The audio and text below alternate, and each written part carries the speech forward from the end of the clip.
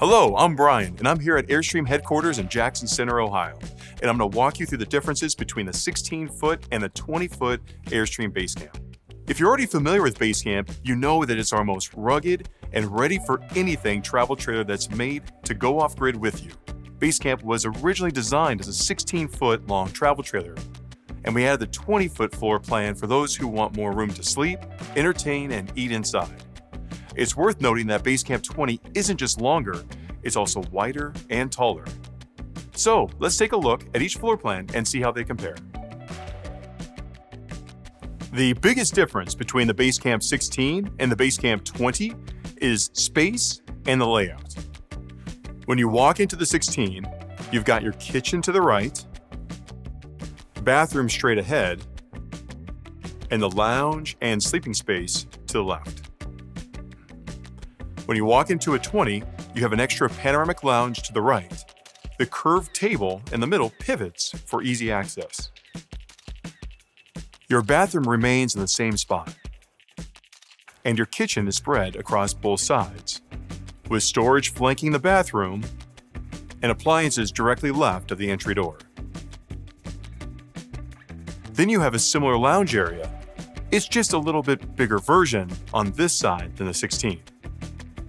In the 16, the two rear benches can function as single beds on their own or combine into one rear spanning bed that's spacious enough for two. Your tables become your supports, and the back cushions fill in the center gap. In the 20, you still have those benches that can be converted into a bed in the same way. Then, in the front lounge area, you have an extra bed. The curved table acts as support again. That makes the 20 great for trips with friends who like their own sleeping spaces, or one bed for the parents and one for the kids. Both lounges feature built-in storage compartments on the entry door side for gear, luggage, anything you want to tuck away. And let's talk about the kitchen. In the Basecamp 16, we've designed the kitchen to curve around the front of the travel trailer with a view out of those beautiful panoramic windows. Your two burner gas stove has a tempered glass cover, so it can double as extra counter space when you're not cooking. Then you have a large round sink with a modern faucet.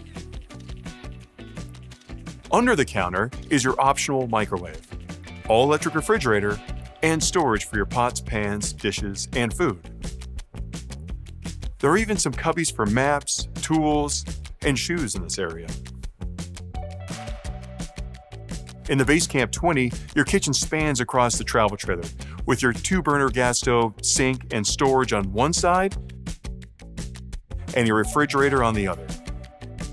In the 20, you get a little extra fridge space. Above the fridge is your optional microwave.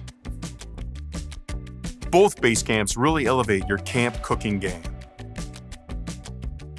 Moving on to the bathroom. Both Basecamp floor plans have what we call a wet bath which means the whole space is designed to get wet. That makes it super easy to clean and keep clean, and really maximizes your space inside the travel trailer.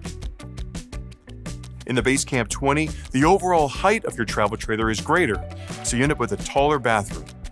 The overall height from the ground to ceiling is at 6 foot 7 inches.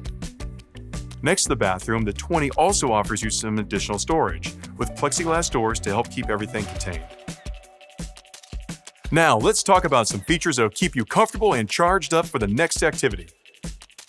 In both the Basecamp 16 and 20, air conditioning is optional, and that comes with a heat strip to warm the travel trailer without using the furnace. When you want to warm up, your furnace runs on propane. There are also tank heaters to keep your tanks from freezing in cold weather areas, and you can choose to run those independently from heating the Basecamp interior. Speaking of tanks, the Basecamp 20 has more overall capacity in the freshwater, gray water, and black water tanks, so you can go longer before needing to refill or empty. Solar power is optional on both the 16 and the 20, enabling you to stay off-grid for longer. That power will supplement your battery-operated devices you can charge at USB ports and plugs throughout the Basecamp. Moving on to storage, both the 16 and the 20 have upper storage racks with flexible fabric and metal bars you can easily clip a carabiner to. You can hang everything from a helmet to a wetsuit up there. And if you're going off the beaten path, of course you'll want to bring your gear. The Basecamp 16 is perfect for bringing your bikes, for which you can load from the rear. With the Basecamp 20, you get a few extra feet to pack in even more gear, like the longer kayak or paddleboard. And when you're done for the day, you simply roll down the blackout curtains on each window. We've made this low tech on purpose to conserve power when you're off grid. You also have a roll down rear hatch screen and a sliding entry door screen so you can let that fresh air flow through.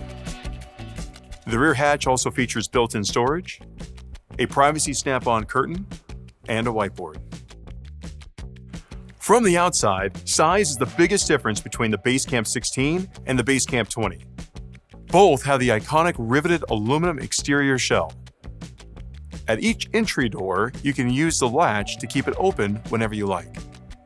The LP shroud on both floor plans houses two 20 pound LP tanks and a place for a hose or power cable on top. Around what we call the roadside, you'll have your tanks, exterior storage compartments, power ports, and water fills. There's also a plug for an additional freestanding solar panel. Both floor plans have heavy-duty stabilizer jacks, skid guards, and a spare tire stored underneath the travel trailer.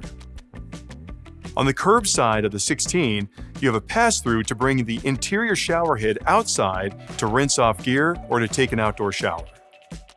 On the 20, you have a dedicated exterior shower with both hot and cold controls. You can choose what we call the X package on both floor plans and that comes with a 3 inch overhaul lift, a greater departure angle to help you climb steep hills, more aggressive tires, and stainless steel rock guards on the front. On the 20X, there's also a second entry step to account for the added height.